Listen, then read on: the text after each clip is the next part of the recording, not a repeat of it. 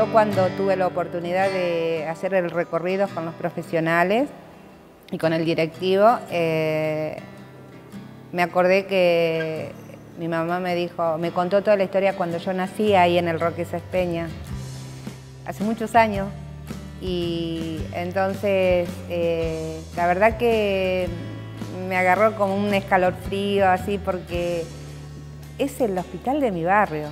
Va a ser una sorpresa en el sentido de que cuando la mujer eh, conozca ese lugar donde van a ser su hijo o su hija es, es algo maravilloso. La verdad que los felicito. Es muy importante para Rosario, para el barrio, para la zona sur, porque también vienen gente de Villa Gobernador Galvez, al Hospital Roquesa Peña.